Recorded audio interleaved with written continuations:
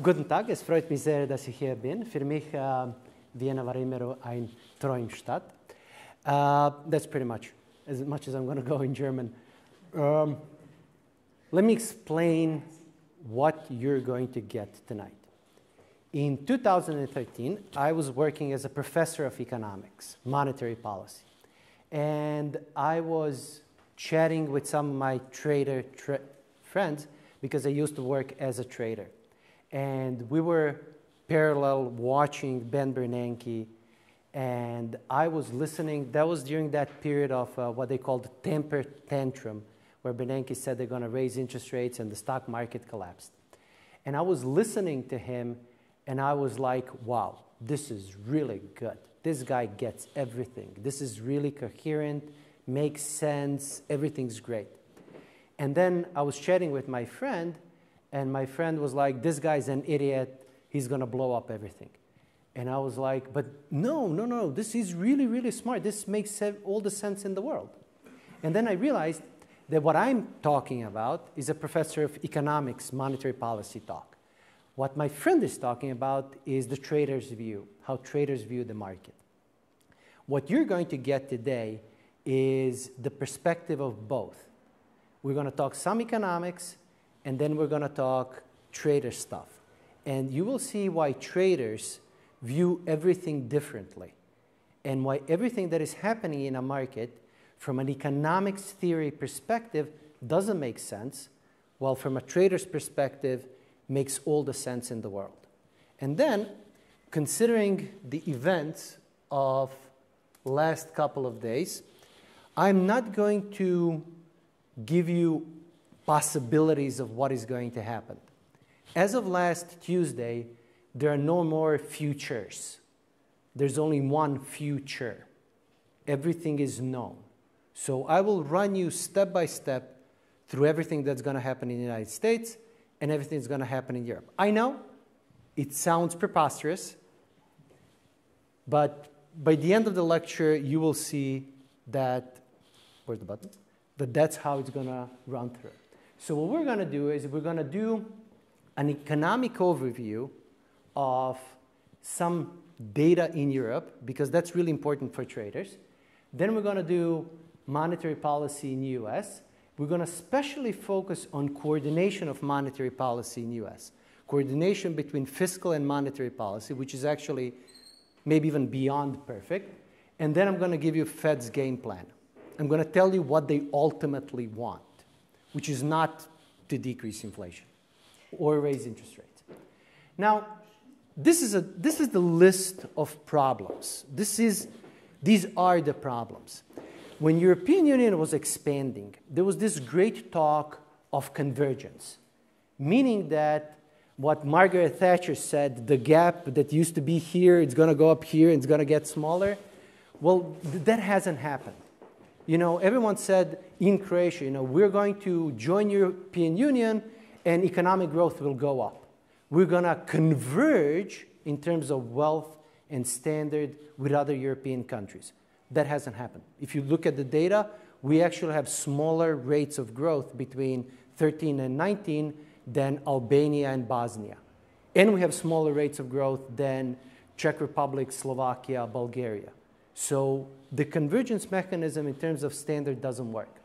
Second, all the stuff that kind of equalize in US don't exist in uh, Europe, especially, for example, in two things. One are taxes and property prices. So if you, if you take a million dollars and you go to a large city like New York, what can you buy? But if you go to another large city like Kansas City or Austin, Texas, you can buy something completely different. So, what does million dollars buy you in Manhattan? What does million dollars buy you in Austin, Texas? And these are both large, prosperous cities. So, if you look at the property prices in Croatia, they're literally out of proportion.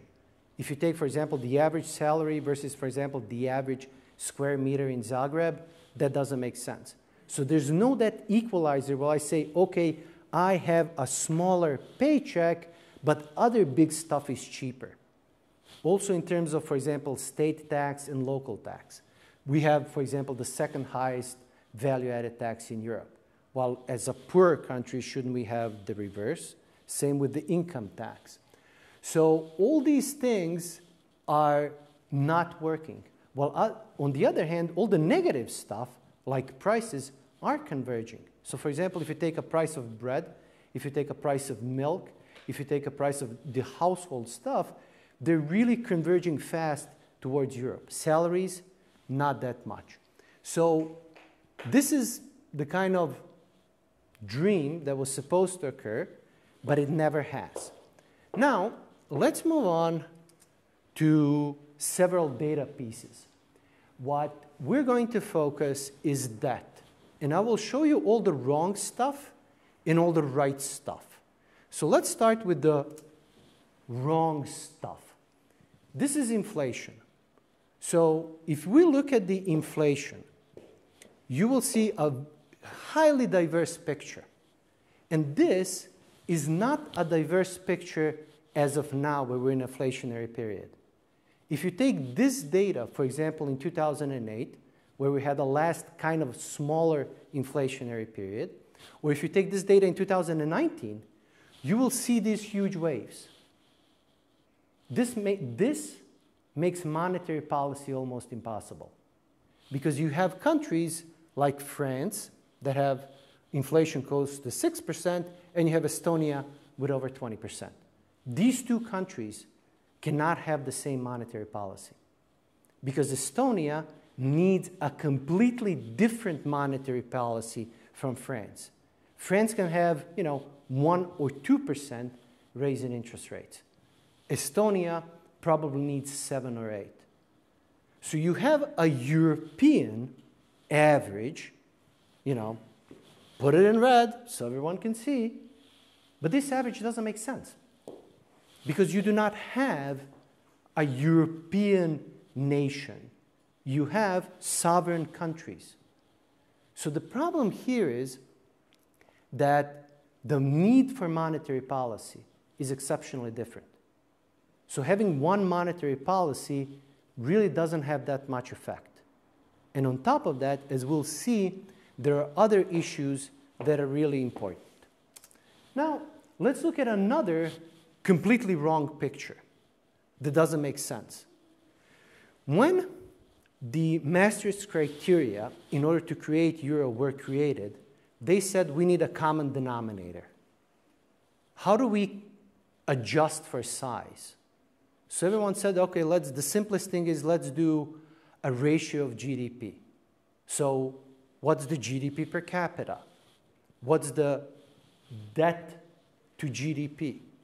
So if you look at this picture, you kind of see that almost everyone has a problem. You know, there are these countries like Greece and Italy that have, oh, as a good headmaster, Greece and Italy, they have, you know, over 100%.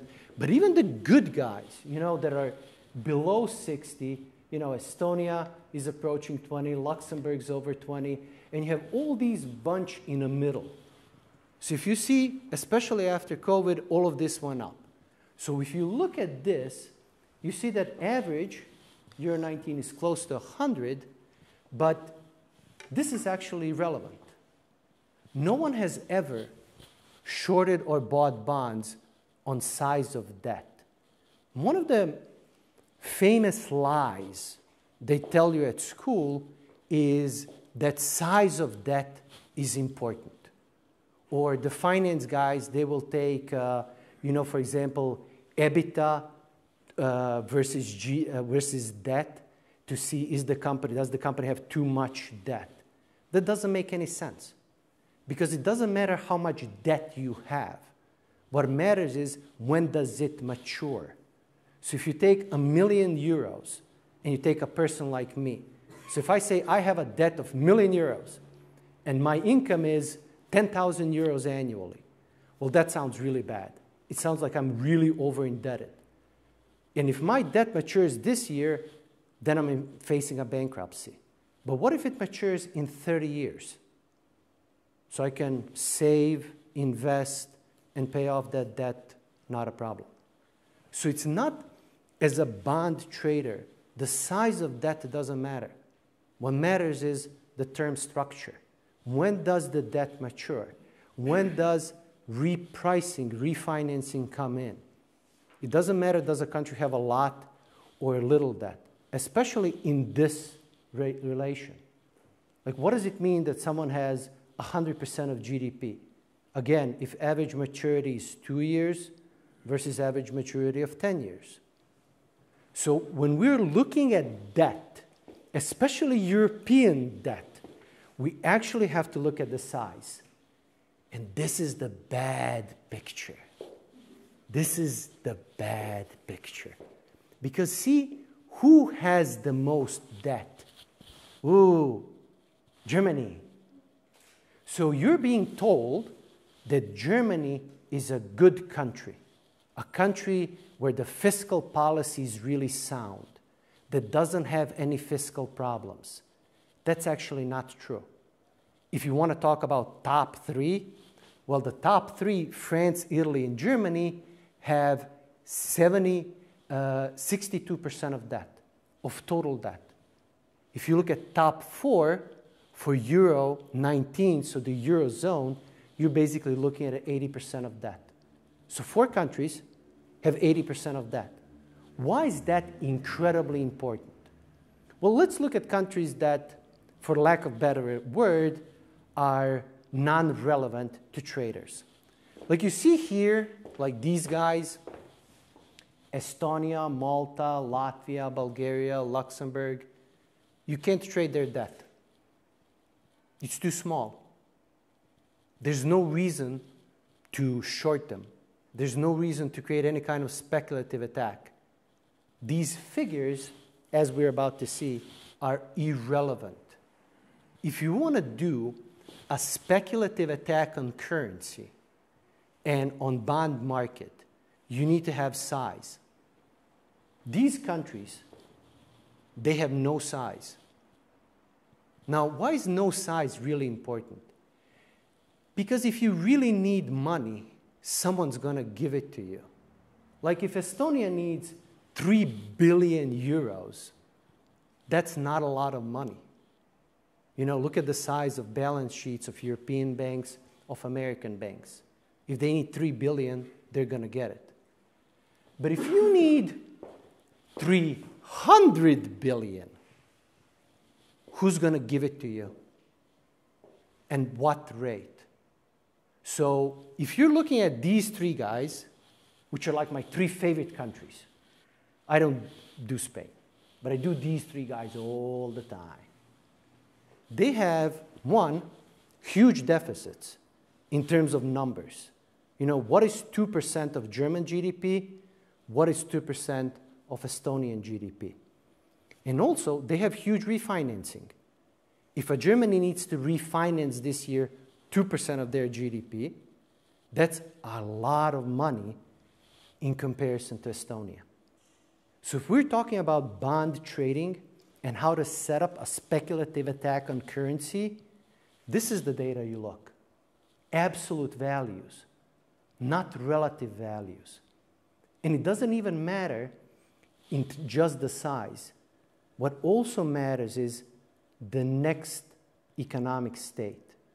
See, all this debt was generated under certain conditions. These conditions no longer exist. What has happened is that as of 2001, 2021, I'm sorry, we are not in the same economic condition we were or state before. So all the data, all the analysis, all the relationships are null and void. They're absolutely irrelevant. The new economic system starts in 2021. And I will explain to you on the data why this is so relevant. So let's do numbers. And I know this is bad and all that. It's, I wanted really to put everyone, and I've put in debt and GDP growth. And if you see, this is from 2012. So I've deliberately put the last really big crisis. COVID wasn't an economic crisis. It had economic effects, but it wasn't caused by economy. It wasn't caused by policy. Someone said we're going to shutting down the economy. Well, that's not an economic problem. That's a political health issue, which again I don't want to treat it as an economic thing. But if you look at the last economic crisis, it was the debt crisis. So if you look at these numbers, they've went up a lot. And all the big countries have more debt. So if you look at, for example, again, the bottom guys, Estonia, Estonian debt as of 21 is $5 billion. That's not money. I mean, there are companies in Austria that have debt to banks more than $5 billion. So in terms of, you know, size, absolute size, yeah, it's an increase of 200%. But in terms of money, it's 3 billion. So it's not a problem. On the flip side, if you go up and you go to Euro area or European Union, you see a $3 trillion. And you go to France and you see 920 billion euros. I'm sorry, I'm constantly in dollars. This is all in euros. I'm constantly in dollar, trading in dollars, so dollar is my currency. So this is the size. So the size of the debt has increased tremendously. That's what's important. Now, the importance of this lies that in a couple of slides, we're going to design a speculative attack on a currency and bond market. I will basically run you how to destroy a country using the bond market. It's not that hard. Let's do the deficits. Everything that I'm telling you and why I have explicitly stated there's no, there are no more futures. Because this thing started in 2019. In 2019, a piece of data didn't make sense, and that was France. If you look, so these are the deficits of how much deficits each country has had. You look at France's deficit, know, here, France. goes up.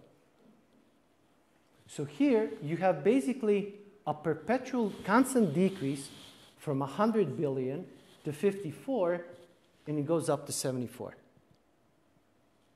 I didn't like this. It was a good economic year. Everything was working out nicely. Sure, there were some problems. You know, France always has problems. But I didn't like this increase. I looked at another country, Spain, it also had an increase.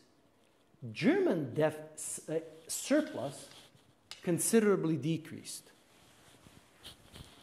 I did not like that at all.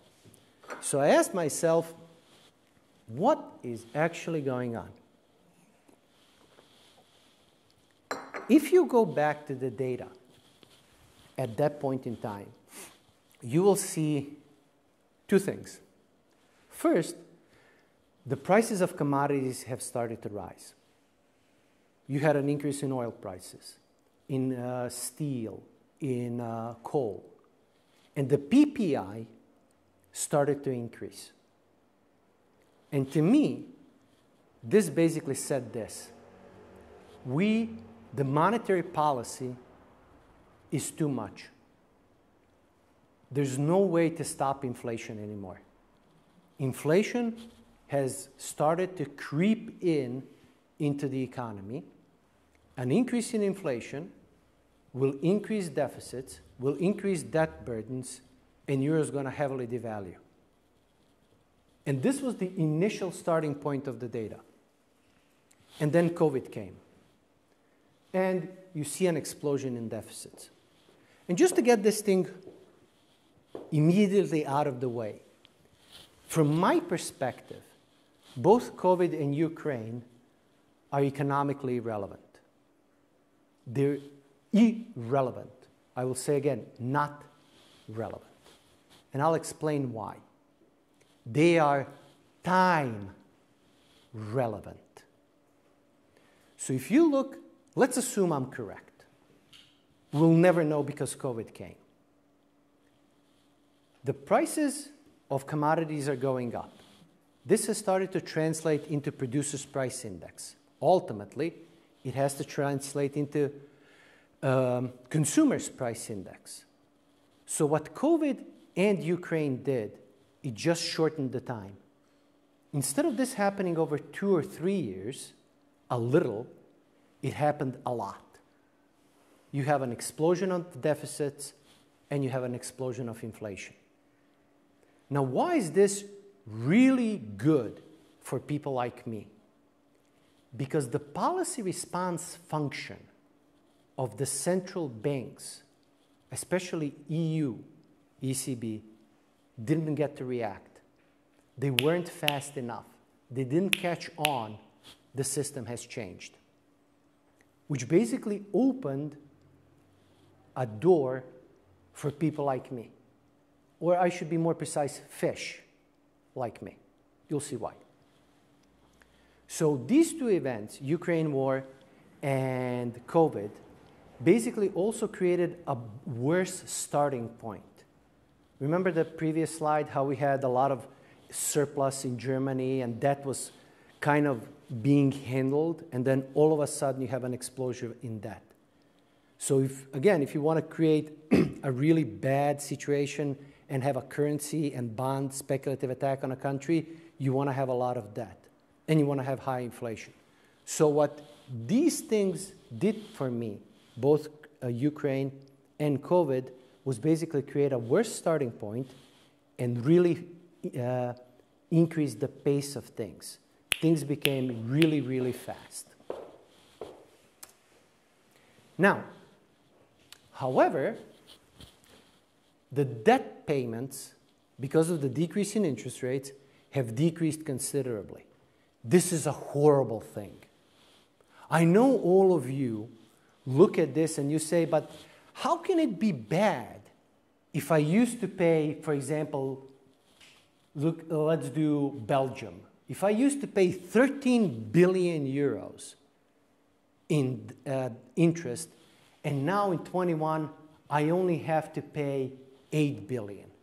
How is that bad? Because you're thinking in terms of looking back. Let's look ahead. And what do we have as a simple logic? If your debt payments came down, that means they're going to go up in the future as interest rates rise. So all of a sudden, you will have a source of deficit, all sorts of programs, and on top of that, increase in interest payments are going to be a source of deficit. Think about Germany. Germany has literally no debt payments. It's 20 billion euros. What's Germany's country's budget? What's Germany's country's GDP? And if you look at the, if you look at the uh, issuances, in 2001, everything up to 10 year had no interest payments. So these interest payments are pretty much residuals. Someone who bought a bond in 2000, a 30 year bond in 2000, and it's still holding it someone who bought a 30 year bond in 2010 or a 20 year bond and it's still holding it. All the bonds issued with one year, two year, five year, 10 year maturities have no interest. So seeing this looks really good. But remember the previous slide. No one has actually decreased their debt. No one, apart from few countries like Ireland and Germany, has put their debt under control, especially countries like Italy. And what is the future? Rising interest rates, rising deficits. So ask yourself if Germany comes to you and says, Would you lend us money for 10 years at 0%? Your simplest response is, is literally, Dude, inflation's 10%. I'm not giving you that. So who's going to give money to Germany on, at a 10-year period at 1%, at 2%, at 3%? And they just start thinking about everyone else. So if Bund, the 10-year German bond, is at 2%, how much you're going to give money to Italy? What's the price? So having these low interest debt payments has created a false sense of security. A significant portion of decrease in deficits, for example, for a country like Croatia, came from here. So it looks really good. But if you look at the future, it basically is and will be the source of problems. So, what are the implications of all this data for a bond trader? Well, we know two things. First thing is supply is increasing. I mean, if you look at uh, Germany a couple of weeks ago, they said we're going to do this um, program to help with electricity and utilities and price of energy, and it's going to be 1.5% of GDP. Great. Who's going to pay for that? So, what has every country in Europe over the last six months told you? We are going to increase our deficit, meaning the supply of bonds is going to go up. Now, let's do the basic economics if supply goes up, what happens to the price? Goes down. But a counterpoint to that is, well, sure, supply can go up, but what if demand goes up? Okay, let's do the demand side. There are three participants that buy bonds. Participant number one is those that have to. So banks, for example, will always have a portion of their ba balance sheet in government bonds. Insurance will always have a portion of their debt in government bonds. Pension funds, mutual funds, stuff like that. But that's simply not enough. These guys cannot purchase enough to maintain the market. The second one is the central bank.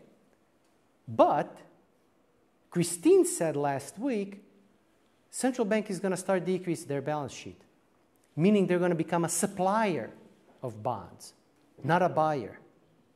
And then all the other investors, which, as it says nicely here, are all gone. How do I know they're all gone? Well, easy. Last year, ECB bought more bonds in Europe than they were issued by government. And the price of bonds actually went down. I'm talking about 10 year. So, how is it possible that someone buys more than the supply and the price goes down?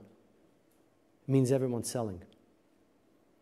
Again, ask yourself if someone comes to you and says, Lend me money for one year, what interest rates are you going to charge? Are you going to charge them half a percent or negative half a percent? It's all gone. See, this is all not that bad. We're now getting to the bad things.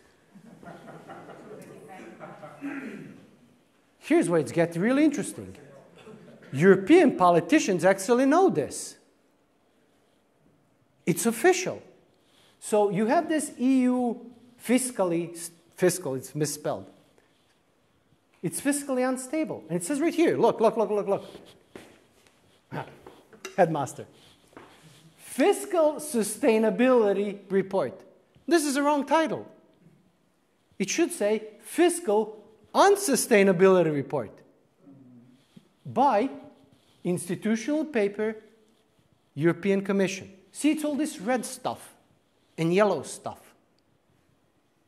So if you look at the number of countries, you know, overall medium term, look how many of these guys are red. So European Commission has actually published a debt sustainability report which says they're fiscally unstable. So if you really wanted to make money, and this is what it's all about, making money, what's the better way? To buy bonds or to short bonds? Just asking, you know. Maybe people don't know. Oh, guess who? Is there a person in this room who doesn't know who this is? Everyone knows. Let me tell you the best lie. There is a lie and a rumor floating around that George Soros broke the Bank of England and caused the devaluation of pound of 10% in one day. That's the, the, the Americans would say horseshit. No one, no one can break a central bank under one condition. If you know what you're doing, see, for example, look at ruble. Elvira knows what she's doing. So ruble devalued, and they got all the speculators in, and then revalued and punished them all. So if you have a central governor, or I guess I got to be politically correct, governess, who knows what they're doing, you cannot break a central bank. It's not that hard to defend the currency. It's actually incredibly easy. Point one, you don't use your currency reserves. If you have a governor who says we're using currency reserves to stabilize the currency market, that means they're an idiot and don't know what they're doing. You never, ever stabilize a currency using foreign currency reserve out of the central bank's balance sheet. That's like monetary defense 101. But there's an accounting data that Soros made $2 billion off of the pound trade. That's indisputable. So, what did he actually do? Well, what he did was he listened what the central bank is saying. And what the Bank of England was saying did not match what the data was showing. So, how do we create a speculative attack on currency and bond markets? How do you cause a country or countries to bankrupt? Well, debt is not enough. You need to have other conditions. So, this is all theory. None of this has ever happened. You need to have an initially low interest rate. So, interest rates need to be really low, like, I don't know, maybe even negative. You need to have a low inflation, like really low inflation, preferably deflation, which is increasing for a really long period of time. I don't know, maybe like uh, two years. You need to have an increasing deficit. So you need to have countries or country or countries that have a rising deficit. And it's even better if you have a governments that say explicitly they will increase their deficits. And just on a side note, this guy is having a great time. Watch him. No, no, watch him. In about half an hour, he will go completely pale. Trust me on this one. Things will go really bad. You need, you need to have, as it says here, high refinancing demands, meaning that 10% of your GDP needs to be refinanced. Now, do you know any countries that have that? Maybe the first letter is E, second letter is M, and third letter is U. Just ask. But here's the best part. Here's what you absolutely need. And that has never happened before until the governor of England, and has never happened after. You need to have a central bank governor that lies all the time and whose words disagree with data. That's why this is in red. I mean, as a, this is like a vestiges of my times as a professor. If it's red, it must be really important. So obviously, this is going to be on the exam.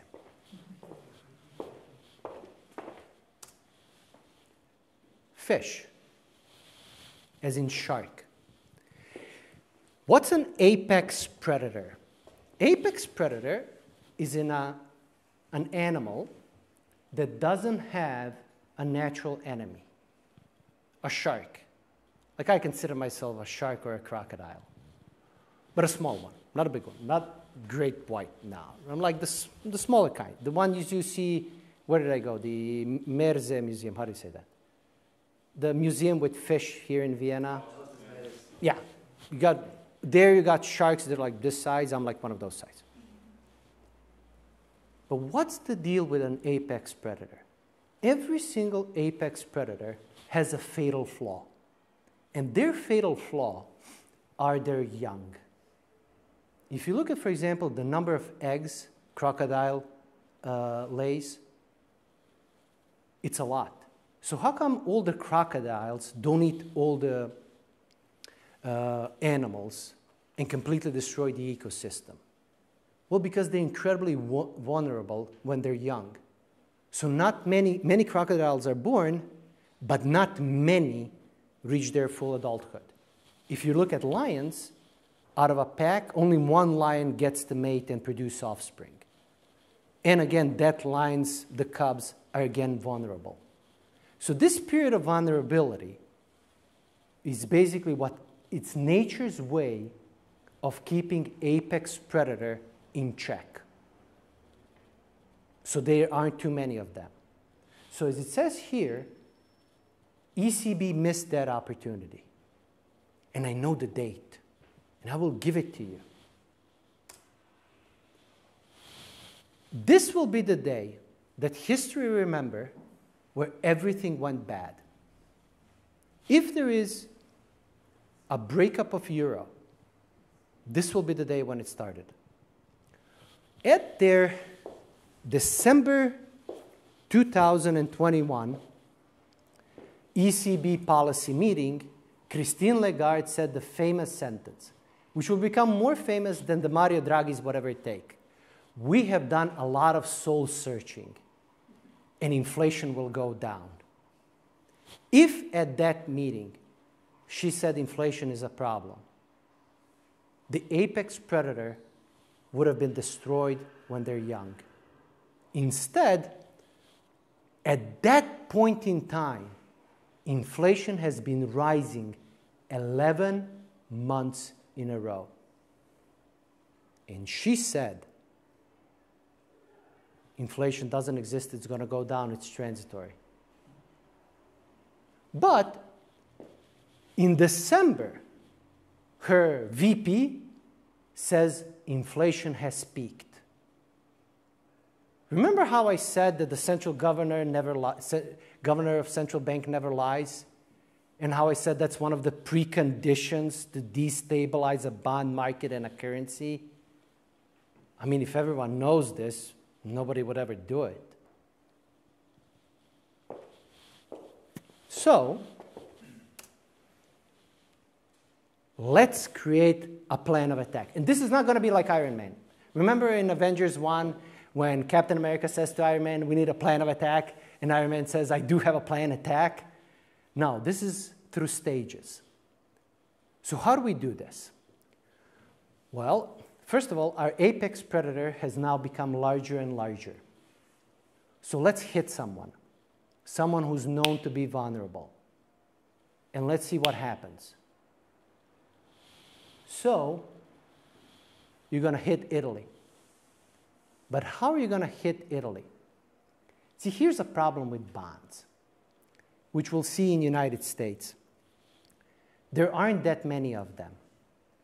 I know if you look at that debt, for example, Germany's debt or uh, US debt, you know, 20 billion, 30 billion. But if you actually break down that debt, first of all, there are people who hold it, like the central bank. Second, there are people who don't trade it, so it just gets taken out of the system. And then it's not like a stock. Like Microsoft has one stock, Goldman Sachs has one stock, Apple has one stock. You have maturities. So if you break this down over a long period of time, on each maturity, you actually don't have that much debt. So you can't simply borrow it and short it. The way you have to do it, you have to use derivatives. Now, here's the thing where all the smart people have failed you. All the smart people have told you that you can use algorithms to trade. But in Europe, no one does cash versus futures trading. While in the United States, Everyone does that. So what you need to do is you don't actually need to trade cash bonds. You just need to short the futures. And as the futures go down, algorithms programmed on no arbitrage theorem are going to decrease the cash price as well. This is going to be a crucial point later on. So you hit someone and see how the market's going to react. And then you have your stage set. But now you need to wait for more data. So you take the first wave, which was January to March of 2020, and you just hit everyone and see who reacts. See how much the bonds drop. And preferably you want more data, which is higher inflation, higher deficits, more central bank lying. Then you do a second wave, which happened June, March to June 2020. And you pause. Now, why do you pause? Because you need to test the other side. The other side, meaning European Central Bank. But during that pause, Christine Lagarde has made a fatal flaw, a fatal error. She told us everything she's going to do. And not just that, she did it in a wrong way.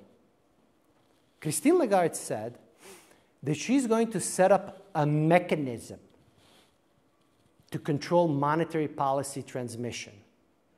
That's not true.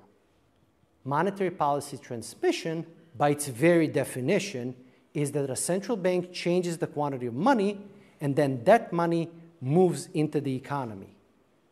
ECB never designed that, never knew how to do that. What she calls monetary, whatever, transition mechanism, big words, is actually a spread control between Germany and Italy. But what is a spread? Spread is a difference. So 4 minus 2 equals 2. 6 minus 4 equals 2. So her plan is not to control the yield curve, not to control the interest rates. It's actually to let the interest rates rise, regardless of the price. So as long as Italy and Germany are all rising the same, the spread remains the same, which was like dream come true all, for all the traders. Because now you know that you can just short everything. And here is when things get really bad. She never published, ECB never published that plan. But they started doing it. And then we knew it's over. She overplayed her hand because someone in Financial Times pulled out actual data. And in a period, uh, June to September, ECB sold 17 billion bonds and bought 17 billion bonds. Out of that, 10 were German sold, 10 billion Italian were bought. You see how things are getting bad? Don't worry, we didn't get to the good part. She had no reason to do that. She had no legal right to do that. And you know what she told me? That European Central Bank has stopped being a central bank. And it has started to be a fiscal stabilizing mechanism. Meaning now I can push him into corner. And all I have to do is short, short, short, short, short until the politicians break and they hit European Central Bank. And then the market's just going to open and drop like a ton of bricks. And this, wait for December to move in for the kill. She's going to raise rates two times before December. Prices are going to continue to rise.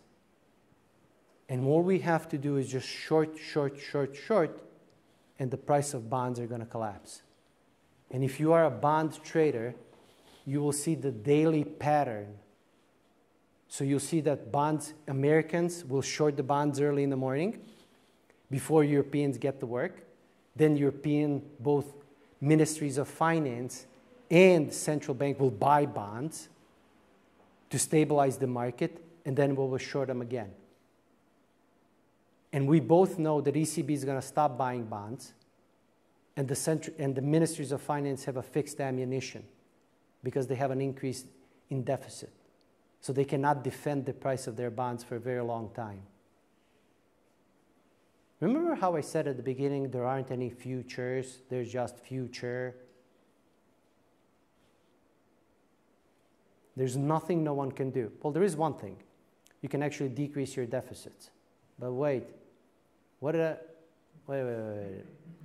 What did I say 15 minutes ago about Germany increasing their deficits? And then on top of that, you have all these candy stuff, like free candy. Italian elections. That's like a best thing ever. What do you think the new prime minister is going to do the moment she's elected? You don't? Don't worry, I'll tell you. she's going to flip her position.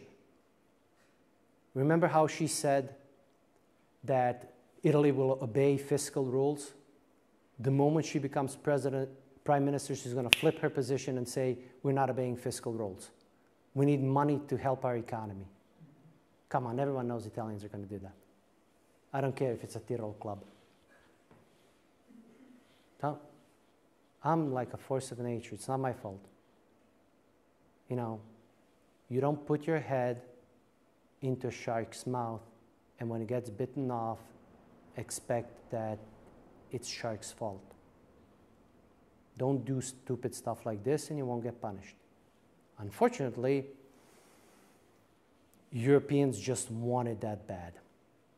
So now nature will take its course. But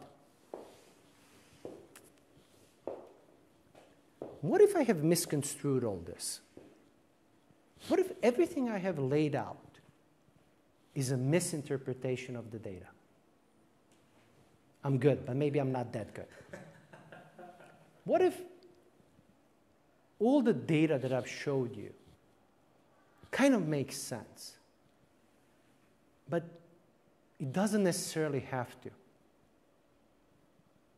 What if everything I have showed you is just a wrong picture? How would we double check if this plan of attack plus everything I have explicitly stated is wrong or correct? Well, we would actually look at what is happening in the market.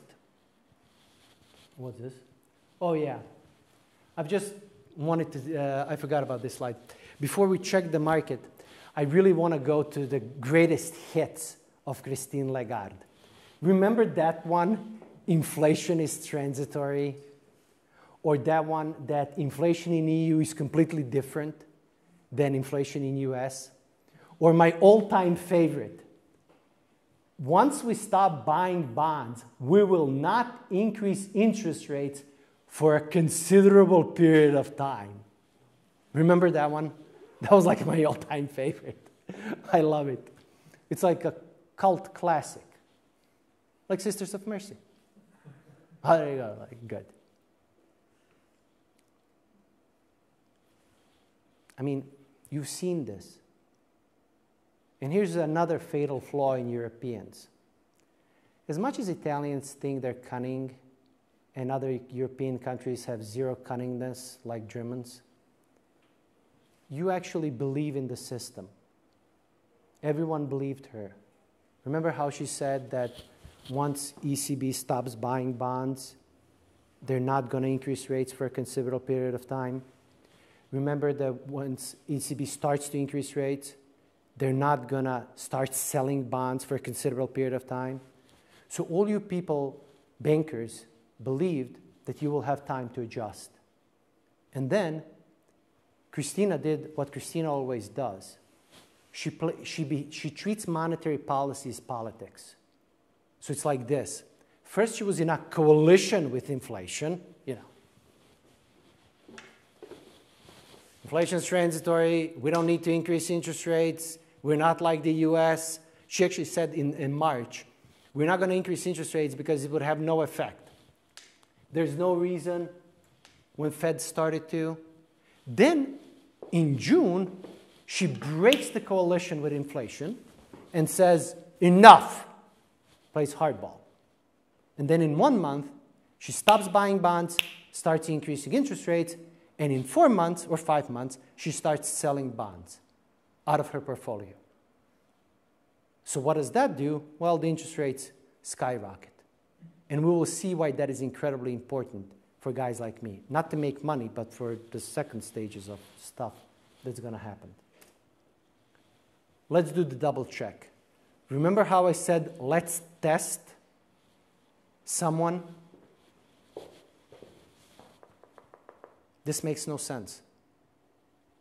This is Italy, 10 year bond.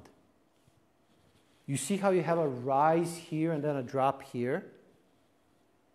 There's no reason for a bond market to move like this. Unless. Two years. This is 2022. So this was the October 30th. So the hedge funds said, let's, let's hit them. Let's see how they react. How did I know that the U US hedge funds are involved? And how did I know they're using derivatives? See this drop? This was a rollover in futures contract. So everyone had to get out of their short position. So price of bonds went up and the yield went down. And what happened after that? We continued. And then you see this thing here? you see this thing here? This is June, July, August. There's no data, there's no ECB meetings. You take profits, you accumulate more ammunition, and you move in for the kill. There's no more defense. But this is Italy.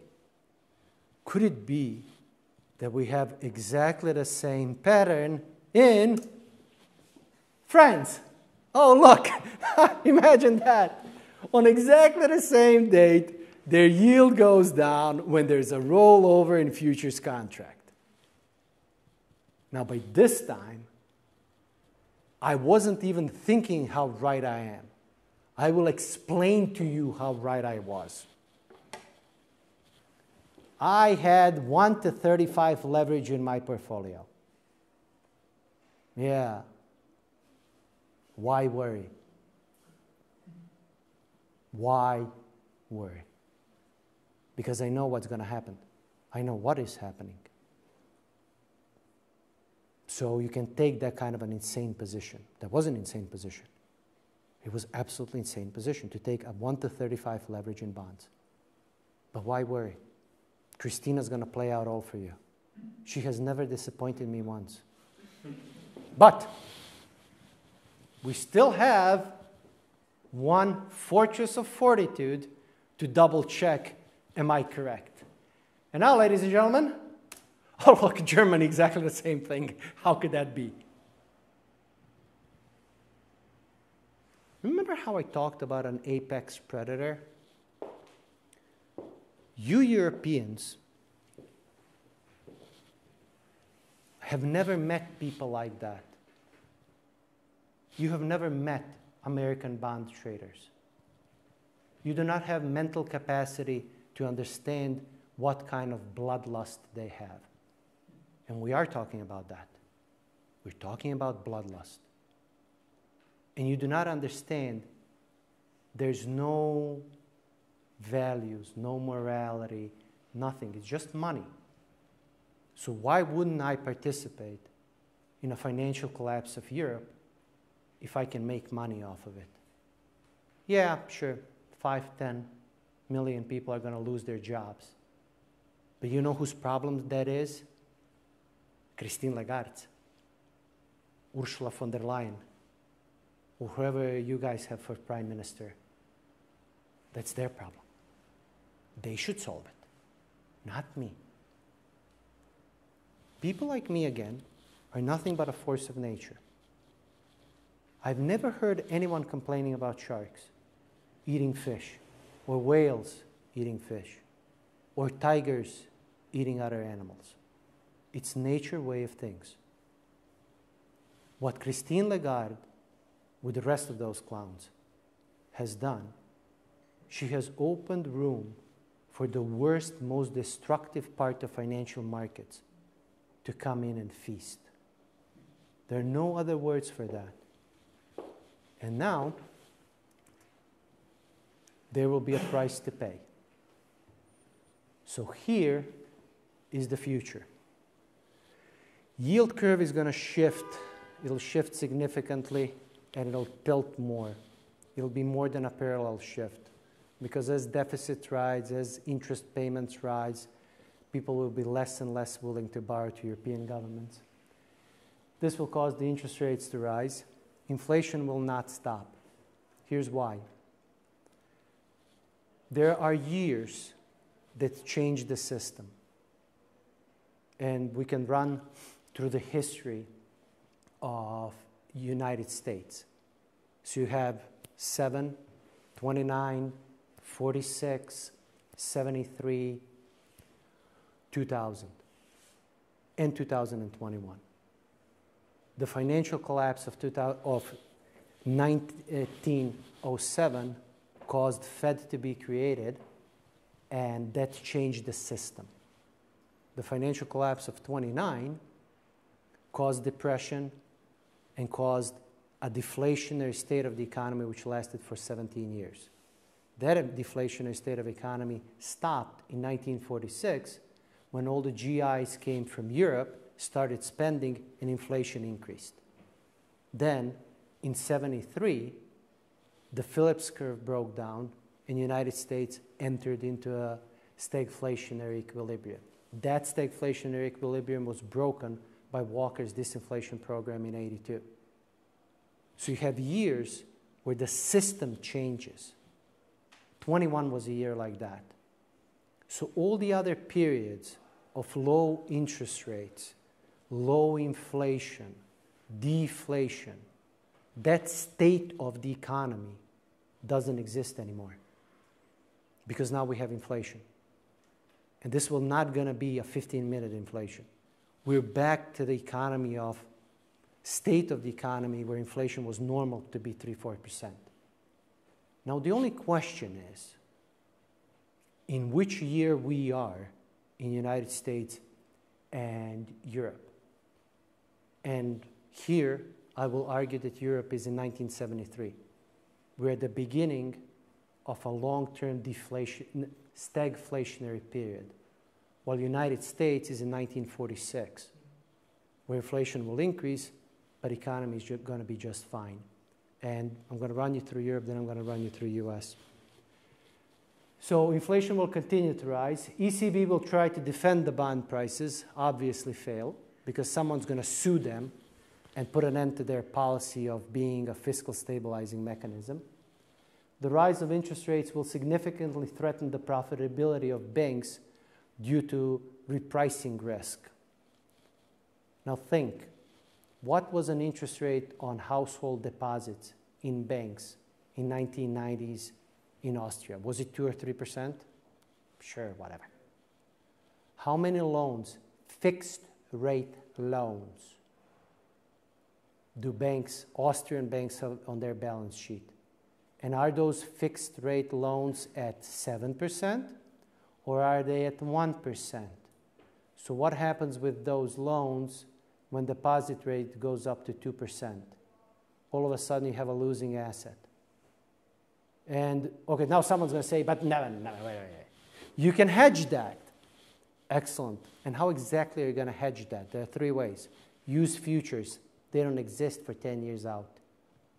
And if you use them, you have a huge basis risk, or swaps, or whatever. Well, we can sell them. Great. At what discount? Who's going to buy you a 1% loan? They're not buying Germany's bonds. Or third, we can issue new loans at a higher interest rate to cover for losses on this. Well, no. That's under the assumption you have a healthy economy and you can give out investment loans that's going to produce new jobs and economic growth. But if you're in a stagflationary equilibrium, that's not going to play out. Then the credit placement of banks will deteriorate, which will lead to a decrease in lending with an increase in credit risk. Fiscal expansion, which is now based on growth of social assistance. So nobody ever tells you that there's a time lag in inflation. So when inflation goes up, the value added tax immediately gives you more money to your uh, fiscal capacity, more money to federal, whatever state budget. But then the costs start to rise six or 12 months later. And then when inflation starts to interfere with real economy, like you have a decrease in real spending in Germany for last two months, then your actually fiscal revenues go down. But you have an increase in spending. If not for social programs, then for interest rates you have to pay.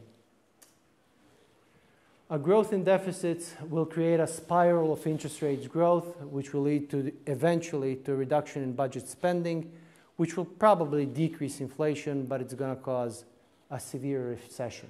Maybe, if the source of inflation is supply side, we're going to have a full-blown stagflationary equilibrium where budgets will have to go down and inflation is going to remain. EU economies will enter a long-term structural inflation, which is basically stagflationary equilibrium. That's what I'm betting on. For several years, EU will not be able to generate jobs and growth. The green transition will be pushed heavily at a detrimental risk. You already see the craziness because Germany is closing nuclear power plants while opening coal power plants. Seriously, like, what are you smoking? EU regulation will increase because that's the only play bureaucrats have.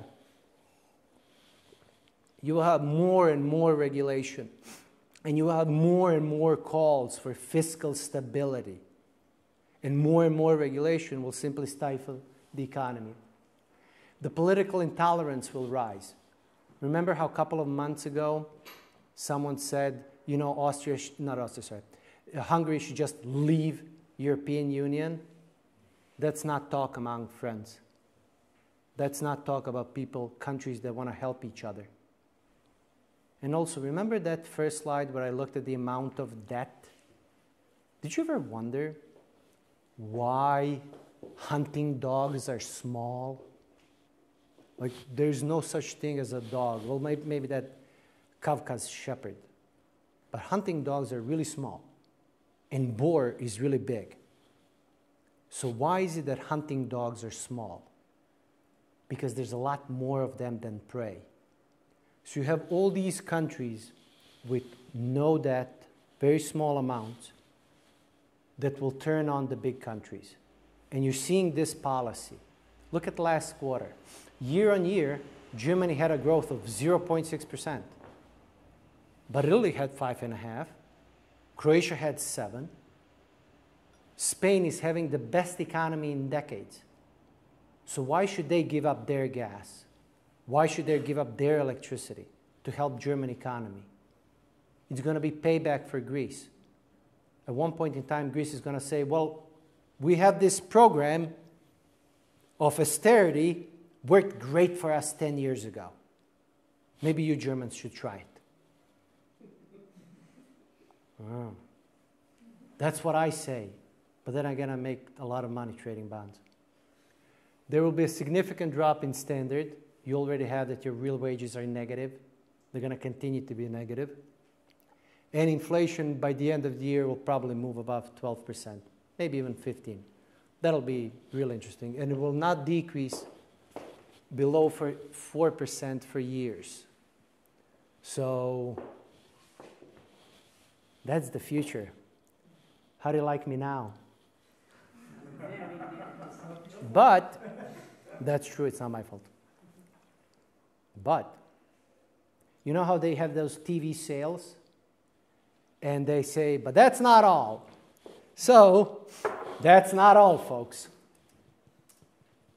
Let's do United States. As you all know, United States is in a recession. They had two quarters of negative growth. Inflation's rampant. Yield curve has inverted, and the economy is going to collapse. Actually, that's all wrong. That's completely wrong. Everything, every single point here is absolutely incorrect. Every single one. So let's do every single one. Yes, the 2 to 10 year yield curve has inverted. And yes, every single year, every single time the 2 to 10 year yield curve has inverted, there was a recession. So why it is not going to happen this time? Well, because every single time previously, it was because of restrictive monetary policy. Yield curve inversion this time actually happened because of restrictive fiscal policy. There aren't enough bonds in the system. And because there aren't enough bonds in the system, the interest rates are not as high as they should be, and yield curve has inverted. So this time, it actually is different. Let's do that. So now someone is going to say, but Neven, look at the numbers. US debt has significantly increased. Well, the US debt is kind of like an onion. You need to peel off, actually, no, that's wrong.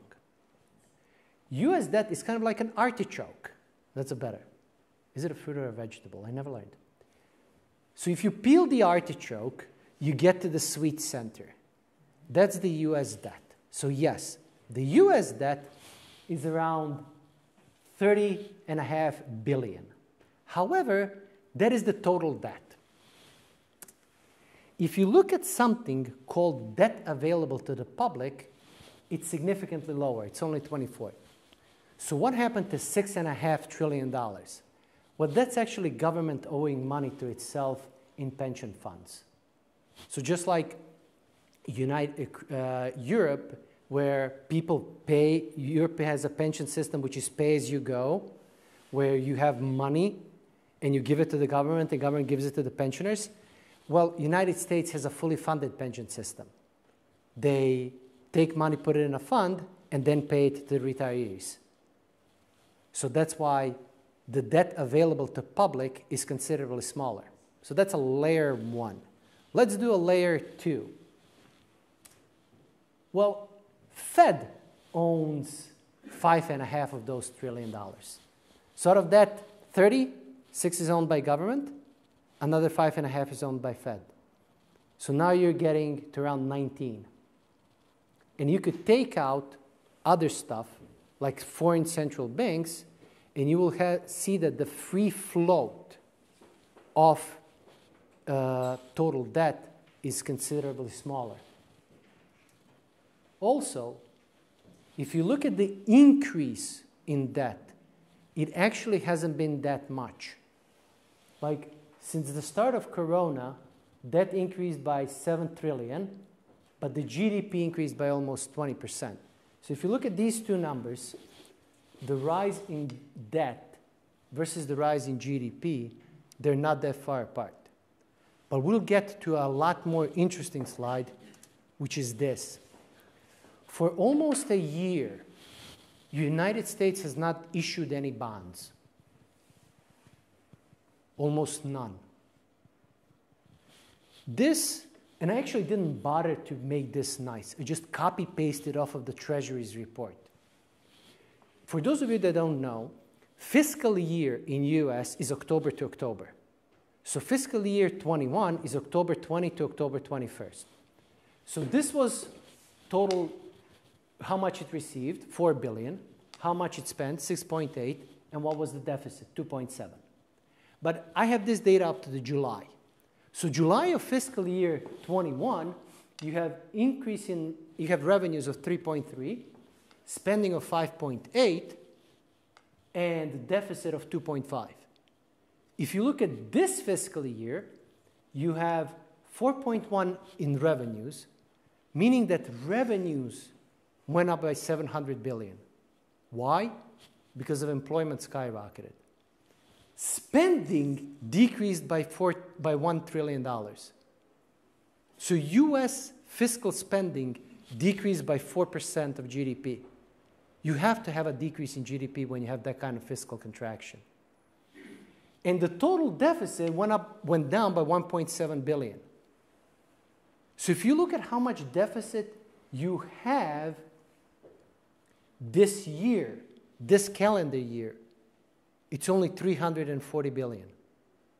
And this calendar year, Fed bought around uh, 370 billion. So this is kind of like null and void. And if you look at the fiscal year, so October till July, you only have 720 billion deficit. Half of that was purchased by Fed. So yes, here the deficit was huge. But here, in this fiscal year and this calendar year, there's almost no bonds production. Bonds aren't being produced. There aren't enough of them in the system. And this year, you have a huge nominal growth of GDP. Last year, you had a huge real growth of GDP. So if you're looking at last couple of years, you're basically seeing a constant decrease in the production of bonds. And when you take Fed, you basically see that there are no bonds in the system. And in October, not in October, in August, you're going to have a probably around 300 billion deficit. But in September, you're going to have three to 400 billion surplus. Because there's always, because of the way they collect taxes, United States has a fiscal surplus in January, April, uh, and September, four times a year. So this total deficit uh, that we have right now, 700 billion, which is 3% of GDP, this is probably going to be lower by the end of the fiscal year. And then next year again, unless they introduce another trillion dollar plan, the budget is just getting filled. There are no bonds, there's no supply of bonds. And this is incredibly important because then who is going to be the supplier of bonds? Fed when they're decreasing their balance sheet. And that's why you, they, I will show you they can do whatever they want with the yield curve, whatever they want. Because the fiscal side is not supplying enough, it's the Fed that becomes the supplier of bonds. So, see here why the US bonds haven't dropped 20%? They simply can't. So, if you look at the interest rates in Germany or Italy, Italy went from a half percent 10 year in December to 4% now. Germany went from negative half a percent to 2% now. What happened to a US 10 year? Oh, looky, that thing went up 1.5%. Well, the Fed raised interest rates by 2%, and it's going to raise another percent or more. So, why aren't these yield curves pushing forward? Again, there isn't enough bonds in the system. So bonds are being bought. Now, here I'll tell you what the Fed will do the ultimate evil thing.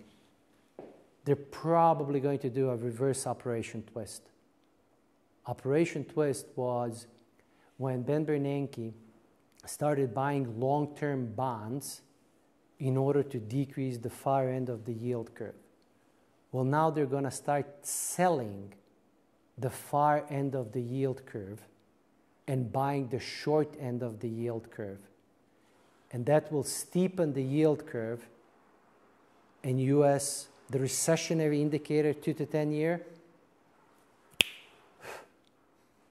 will magically disappear. And all of a sudden, looky, looky, US is no longer in recession like this thing, Powell, Powell did this really good. Really good. Like they say in that movie Spinal Tap, on scale of 1 to 10, when I really want to crank it up, I do 11. Fed is running monetary policy on 11. I've never seen stuff like that. I've never read stuff like, about stuff like that. It is as good as it gets. You know, you want to know the answer why they're so good and how I know what they're going to do? Well, the answer is incredibly egoistic. The professor of monetary policy will tell you that's what I would have done. You have a fiscal consolidation and you start controlling the production of bonds. So, how come none of these hedge funds are attacking the US with a huge deficit? And you have every now and then people on articles and forums saying that the US is going to bank, go bankrupt because of the size of their debt. Well, that's as good of a joke as it gets. Almost as good of what Christina said about soul searching. So, the two things Fed doesn't care about inflation and interest rates. I know that you're being conditioned by professors of monetary policy, none of them dressed in three-piece suits, that Fed wants to increase interest rates and inflation is really important. Inflation in the US is done. It's over. The commodities dropped, producer price index dropped, is dropping, and the CPI will just continue to drop. So Fed knows inflation is going to stabilize. There's no need for them to increase interest rates and cause recession. What they have to do is really talk aggressive and raise interest rates a little just to maintain credibility. So what Fed is now doing basically with interest rates is, as I said, maintaining credibility and accumulating ammunition for next recession. Like they would probably like it to have it at 4.5% because then they can do whatever they want during next recession. What Fed really done masterfully, probably the best I've ever seen, they have they managed to hide quantitative tightening. Remember how no one talks about that? And it's not in a spotlight? This was Powell's true great trick. What was the greatest thing Devil ever did? convince people he doesn't exist. So what did Powell do? He basically convinced QT is irrelevant. When's the last time you heard of him talking about QT and about how he's decreasing bonds? It simply glide over. Increase in labor participation rate and increase in lending. That's what Fed cares about. Those are the two variables they look at. That's why they're constantly pushing stock market down because the only way to have an increase in labor participation rate is for all the YOLO idiots. YOLO means you only live once straight, there you go, to go back to, to work. So the only way for YOLO idiots to stop trading is to have the stock market depressed. That's why he's so aggressive. Like the Jackson Hole speech, like we were watching that and just laughing all the time. He doesn't care about inflation. And I'll tell you why. The Americans are not like you. They will flip. The moment inflation hits a number three, like 3.8, 3.5, he will say something like this um, You know, inflation, yeah, it's really high, yeah. But if you look at the data, we had that long period of under 2%, and then we had a short period of high inflation. So, in the average, it's around 2%, and there's no need for us to cause recession in order to push the inflation under 2%. He's going to flip. He's going to say that 3.5% inflation is okay. And the moment he does that, everyone will wake up, realize that the stock market's cheap, the economy is doing great, and off the races we go. Now, he's not going to do that tomorrow. He's not going to do that this or next quarter, maybe next quarter. But he needs to see three or four numbers of inflation under with the first number three, and then he's going to flip Fed's position. Why? Americans are pragmatic, they're not idiots. Why would Americans push their economy in a recession in order to achieve inflation of 1.5%? What's the purpose? So that's his ultimate play. That's what no one counts on. It's not that he's going to cause recession by raising interest rates. And it's not that he's going to cause recession and then have to decrease interest rates. No, Fed's not going to decrease interest rates. I mean, they might do stuff where they oscillate interest rate, but he's going to flip the inflation targeting. And then that's going to stabilize.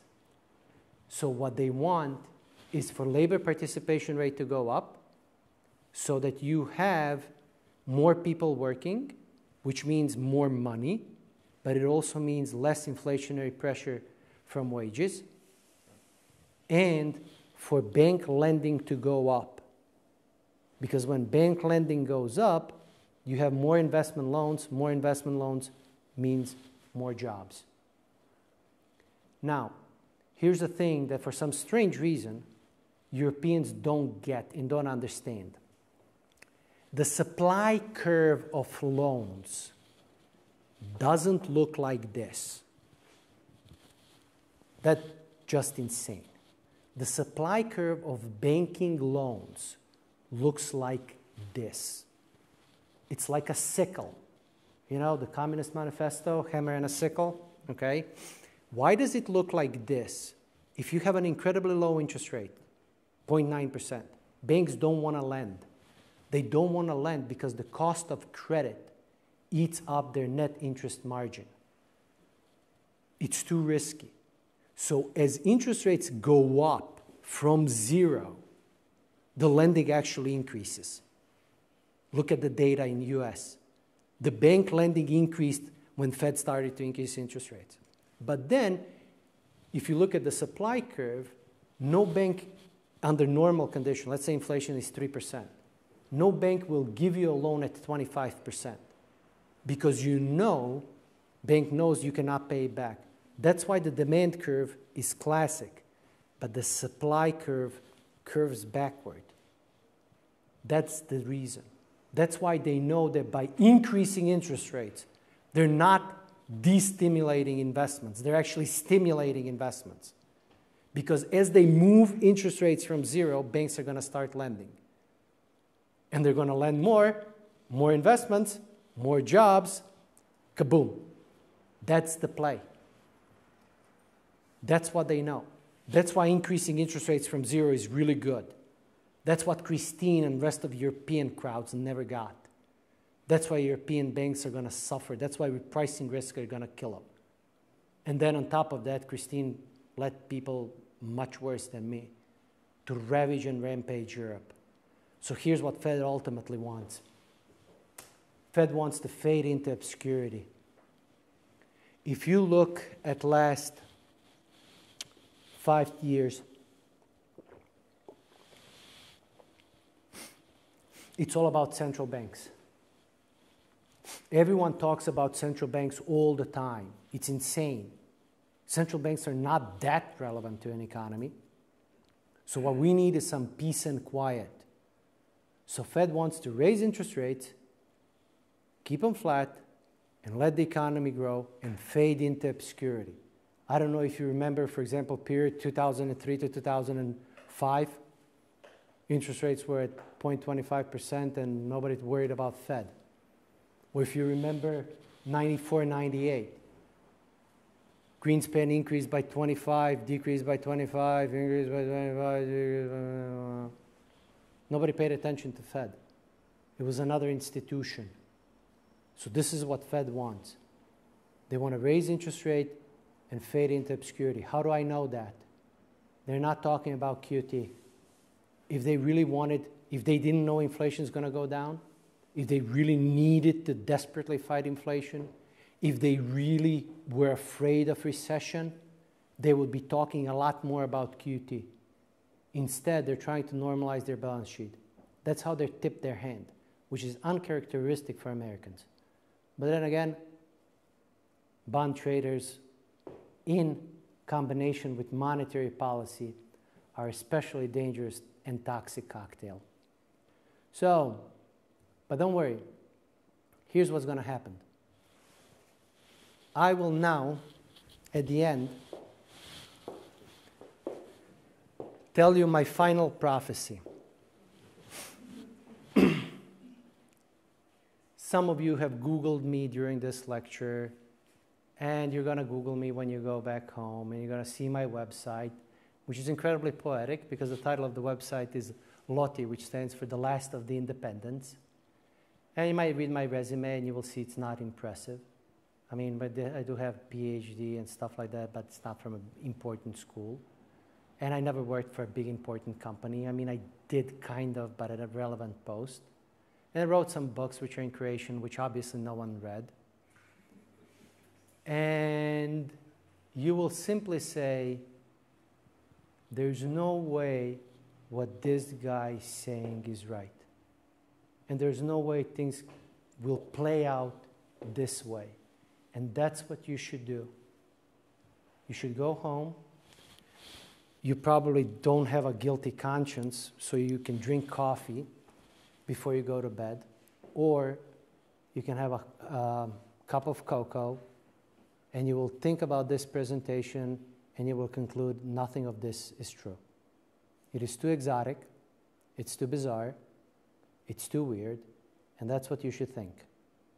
And just, you will go to bed, and tomorrow morning, you will not pay any attention to what I've just lectured you, which is the way it should be. You're what we call civilians.